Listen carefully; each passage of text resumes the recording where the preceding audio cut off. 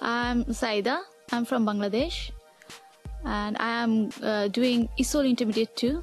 I have been studying in, at North Glasgow College for eight months. There are lots of facilities. We can use computer. Uh, here there is a nice large uh, library. We can go there every time and we can use uh, books and we can borrow also laptop if we need. My name is Samia Fahim. I'm from Pakistan. And uh, I have been here two years in this building. Everyone is helping you. Everyone. You feel better.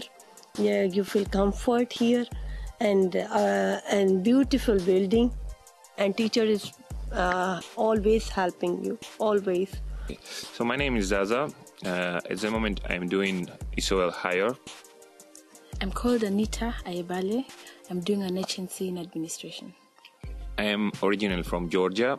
I came here to improve my English. After this, I'm gonna do this uh, HND course as a football football studies course. I'm Ugandan and I've been here um, seven months today.